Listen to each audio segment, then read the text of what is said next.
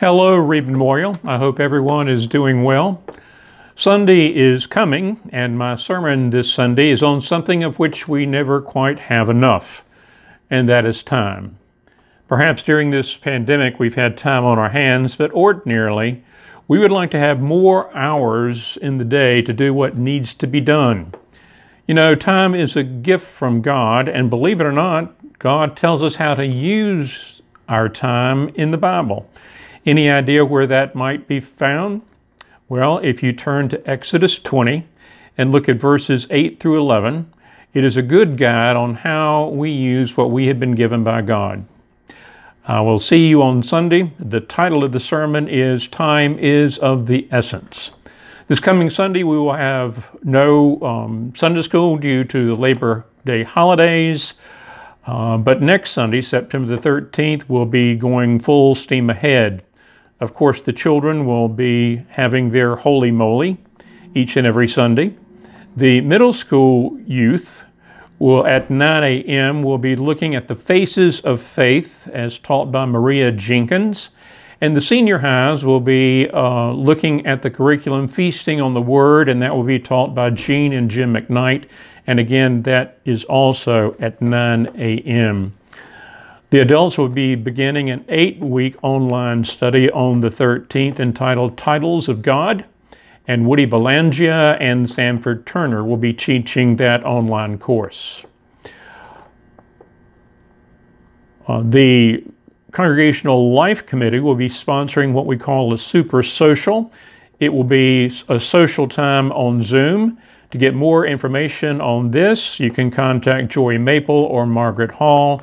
This will afford everyone an opportunity to get to see and talk to folks that perhaps you haven't seen in quite a while.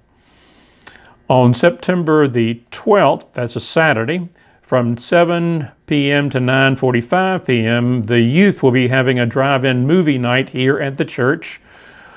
Youth from the 6th grade to the 12th grade are invited and they are encouraged to bring their families along with them. So we hope that you'll take advantage of this event. We will begin our in-person worship on September the 13th in the sanctuary the first 50 people to register will be able to uh, participate in the worship service that day. The registration begins at 5 p.m. on Monday, uh, September the 7th. Uh, if we have quite a few more than 50 to register, we are hoping that we can go to two services the very next week. Uh, you can go to the church website to find the guidelines uh, that you are to follow for in-person worship in the sanctuary, and we hope that you will follow those guidelines religiously.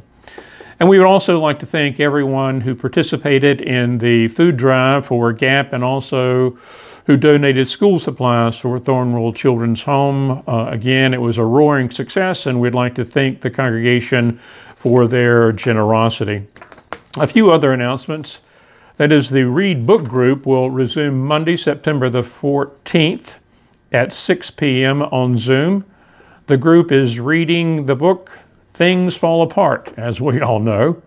Uh, if you'd like to be part of that discussion and fellowship, please contact uh, Pastor Nadine and she will give you the Zoom link. Also, on September the 22nd at 9 a.m., the Solus Bible Study group will meet.